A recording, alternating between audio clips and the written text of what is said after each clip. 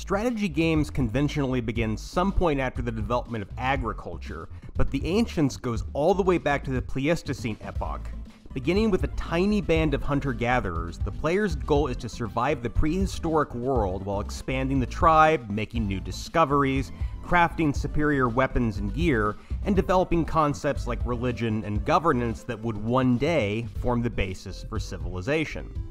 Now, while it superficially resembles some other 4X games, the gameplay of the Ancients is very different. The player's tribe begins with no permanent settlement, putting them at risk of dying due to predators and the elements, while they forage or hunt for enough food to stay alive for another turn. As the tribe advances and becomes semi sedentary, the player can coordinate different groups for different tasks while inventing new tools, though it remains a sharp departure from most strategy games. The need to constantly find new resources is what distinguishes the Ancients from most 4X titles. While those games are focused on steadily expanding and growing one's resources, the Ancients is about seeking out resources wherever they're available and poaching them before another tribe can.